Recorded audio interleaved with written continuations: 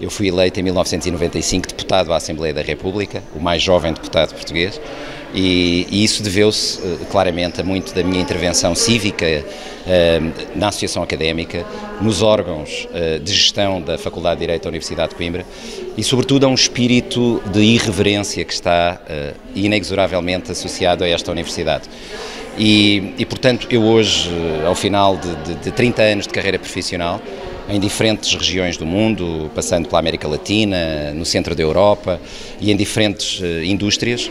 Devo claramente um sentimento de liderança que aprendi aqui.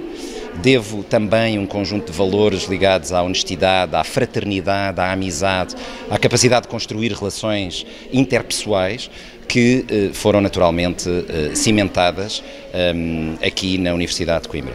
E além disso, para quem como nós está fora, eh, a Universidade de Coimbra é um fantástico cartão de visita. Eh, quando dizemos que somos de Coimbra e que estudamos nesta vetusta universidade com mais de 700 anos, naturalmente que há portas que se abrem, há pessoas que por aqui passaram, ou há sempre alguém que teve alguém que por aqui passou. E, portanto, é claramente eh, um fantástico cartão de visita de qual nós nos devemos orgulhar e eu orgulho-me bastante.